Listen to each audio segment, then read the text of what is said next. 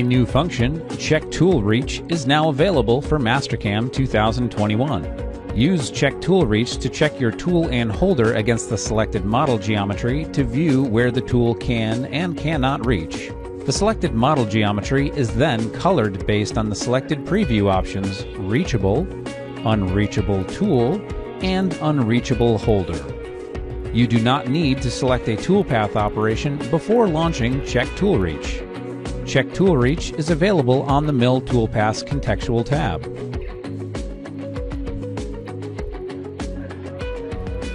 The Skip Pockets Smaller Than option is now available for 2D Dynamic Mill. Additionally, for Dynamic Mill and Dynamic OptiRough, there's a new option to skip all pockets. These options are located on the toolpath control page for Dynamic OptiRough and the entry motion page for Dynamic Mill. Smaller than allows you to skip pockets based on the entered tool diameter percentage or a minimum pocket size. When you enter a value for either the tool diameter percentage on the left or for the minimum pocket size on the right, the other parameter updates. Skip all skips all pockets.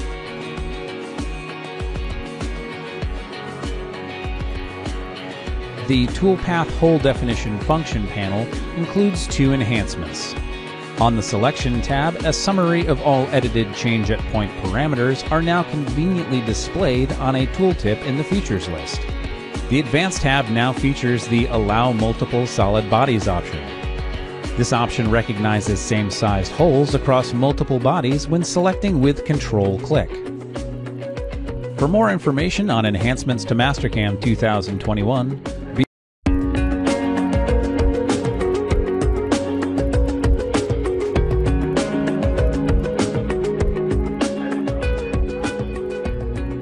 Mastercam 2021 features a new toolpath, Advanced Drill. Advanced Drill is a customizable multi-segment drill cycle that is useful for spot drilling, deep hole drilling, and back spot facing. Each segment of the drill cycle can be defined in a table on the toolpath's Cut Parameters page. For each segment, you can customize any or all of the following conditions. Define individual pecks within the segment, including retracts to simulate a chip break cycle. Set the feed rate or choose rapid motion. Change the spindle speed and direction. Turn coolant options on or off. Add manual entry comments or code. Fine tune the order in which the commands are output. Like other drill operations, you can use the tool axis control page to choose 3, 4, or 5 axis output. Choosing 4-axis or 5-axis output gives you access to additional multi-axis features like Safety Zone. Advanced Drill is located in the 2D gallery on the Mill Toolpaths contextual tab.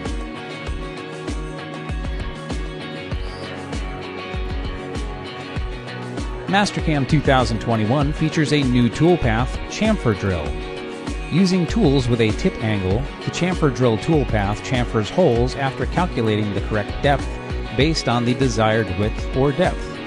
The chamfer drill toolpath also lets you select holes of different diameters or sizes, or that lie in different planes, and machine them in a single operation with a single tool.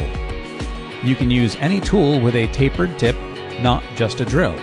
Like other drill operations, you can use the tool axis control page to choose 3, 4, or 5 axis output. Choosing 4 axis or 5 axis output gives you access to additional multi axis features like Safety Zone. To create the toolpath, select Chamfer Drill in the hole making section of the 2D Mill toolpaths. Then in the graphics window, select the entities you want to add to the features list. Use the following methods to make and manipulate your selections. Click or use window selection to choose solid holes, solid arc edges, wireframe arcs, lines, points, or auto cursor positions. Control and click to select all matching radius solid features. Control, Shift, and click to select all matching radius solid features on the same vector as the initial selection. Click a selected solid features arrow to change direction.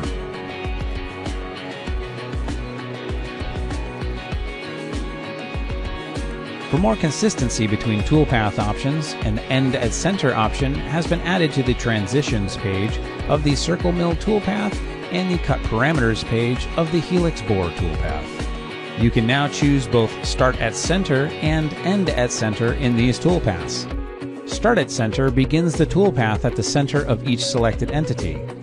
Once that entity has been machined, the toolpath moves to the next entity. End at Center ends the toolpath at the center of each selected entity. Once that entity has been machined, the toolpath moves to the next entity.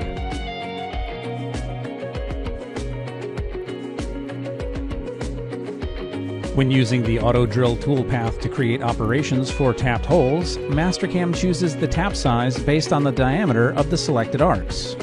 This can be a problem when the geometry is based on the minor diameter of a tapped hole. Now when you select only arcs, Mastercam displays the override geometry diameter parameter in place of the Create Arcs on Selected Points on the Tool Parameters tab. Mastercam uses the existing hole diameter unless you select the override option. If any wireframe points are selected, the Create Arcs on Selected Points parameter displays, and the user entered diameter associated with that field defines the hole diameter.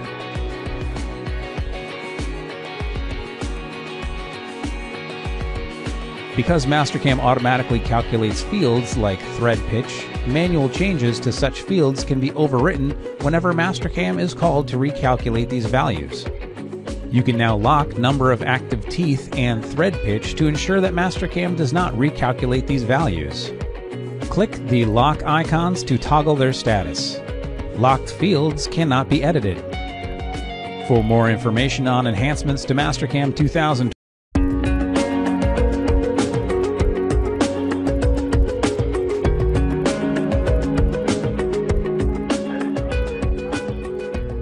A new page, Corner Pretreatment, has been added to the Dynamic Mill toolpath.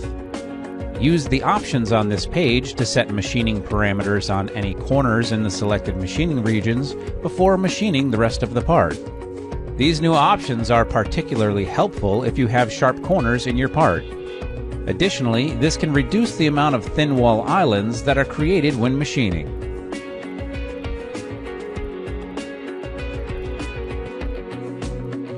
A new option, Roll In, has been added to the Cut Parameters page for face toolpaths. Roll In adds an arc move with the entered radius to the lead move in. This move is always opposite the step over direction. This option is particularly helpful with tool engagement, resulting in less tool stress.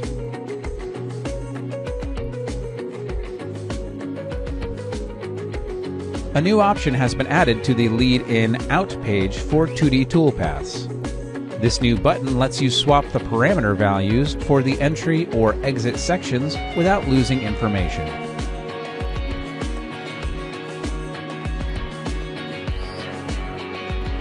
Two new options are available on the linking parameters page for all 2D toolpaths.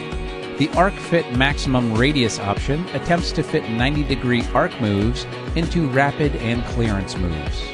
If the entered radius does not fit, then the output is created as a 180 degree arc. Use the Output Feed Move option to output the rapid move between passes as a feed rate move instead of a rapid move. This may be helpful when the tool needs to make many irregular moves per pass to jump between different areas of the part. This option is also useful for older machines which create dogleg moves for rapids. The 2D Contour toolpath now includes the following enhancements. A new option, Applies All Finish Passes on the Multi-Passes page, applies spring passes after the last finish pass for each defined depth set by the finish passes parameter.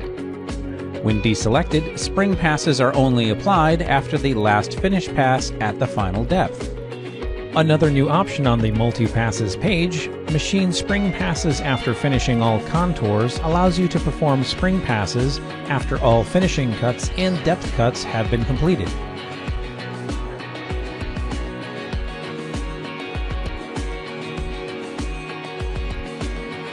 Profile Ramp is a new option in the line drop-down on the Lead In Out page for 2D contour toolpaths.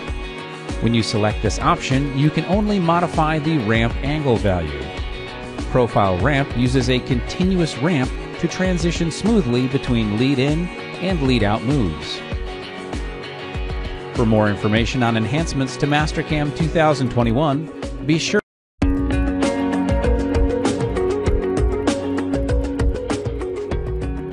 The 3D High-Speed Blend toolpath now includes the following enhancements. The 3D option in the Project dropdown on the Cut Parameters page is now available. When selected, Mastercam keeps the created passes equidistant in 3D, adding cuts to steep areas.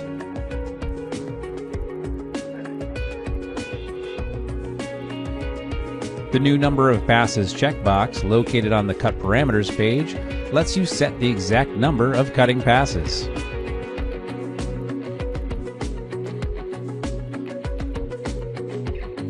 The new Flip Step Over checkbox located on the Cut Parameters page reverses the cutting direction of the blend toolpath.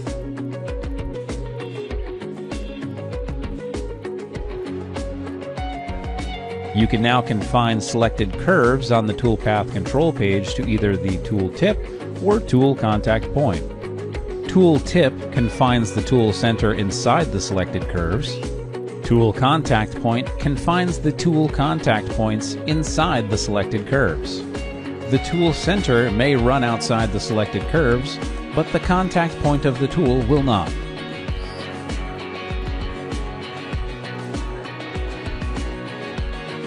Two new methods are now available in the Cut Method dropdown on the Cut Parameters page. From center, cuts one direction, steps over to the next cut, and cuts in the opposite direction, starting from the center and working its way outside while maintaining a climb cut. To center, cuts one direction, steps over to the next cut, and cuts in the opposite direction, starting from the outside and working its way to the center while maintaining a climb cut.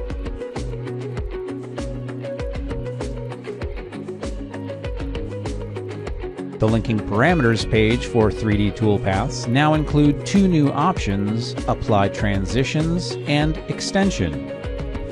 Apply Transitions, when selected, sets retract motions to be transition motions. The new transition motion uses the values set on the Transitions page. Apply Transitions is not available for a horizontal area, area roughing, and dynamic OptiRough toolpaths. The extension parameter extends the lead motion by the entered amount using a tangential line.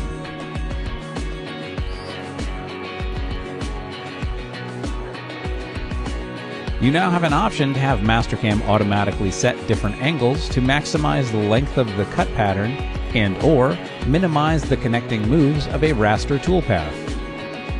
This option is on the Cut Parameters page. For more information on enhancements to Mastercam 2021, be sure to visit what's new.mastercam.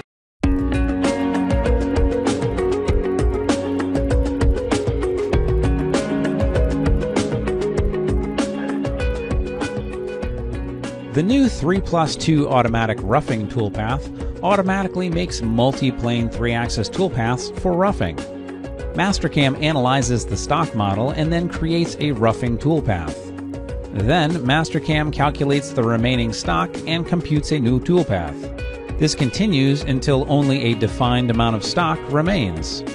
The results are all contained within the one toolpath. 3 plus 2 automatic roughing is located in the multi-axis gallery on the Mill Toolpaths contextual tab.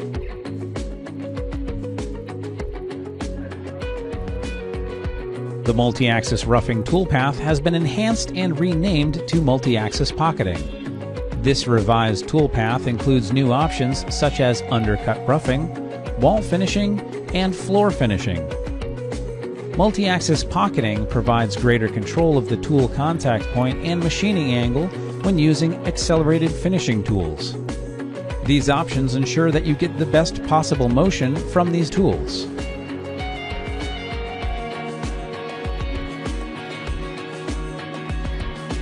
The Curve Flow multi-surface, swarf, and port toolpaths now have separate feed rate control options for entry and exit linking moves. These controls are on the entry-exit page under the linking page.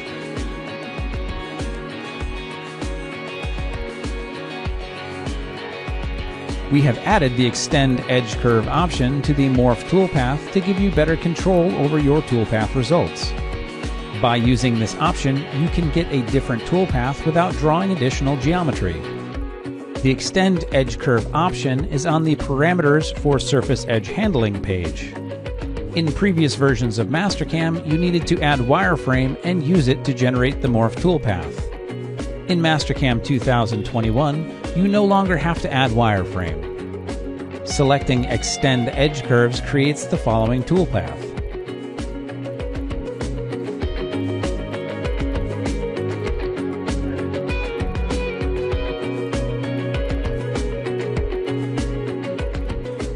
A new option, Adaptive Depth Step, has been added to the cut pattern page for the Rotary Advanced Toolpath. Adaptive Depth Step creates constant Z cuts within the defined distance and minimum distance. Constant Depth Step creates constant Z cuts.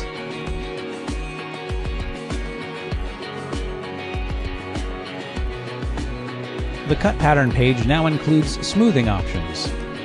Use the corners percentage option to fillet the sharp corners of inner contours, specifying the radius of the fillet as a percentage of the stepover distance. The final contour percentage option does the same for sharper corners of the outer contours. For more information on enhancements to Mastercam 2021, be sure to visit what'snew.mastercam.com.